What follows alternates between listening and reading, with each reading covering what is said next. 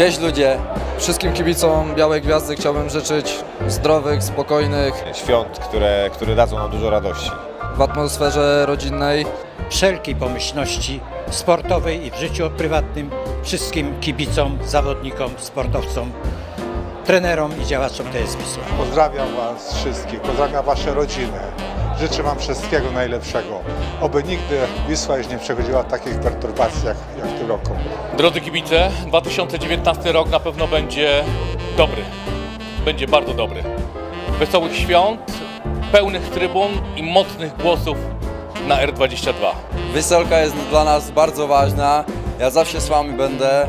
Życzę Wam wszystkiego najlepszego. Wierzę, że będę dobrze i trzymajcie się. Życzę, żeby biała gwiazda świeciła na niebie jak najdłużej. Życzę wszystkiego najlepszego, dziękuję za wsparcie. Wisła będzie wielka. Jazda, jazda, jazda, biała gwiazda. Wszystkiego dobrego.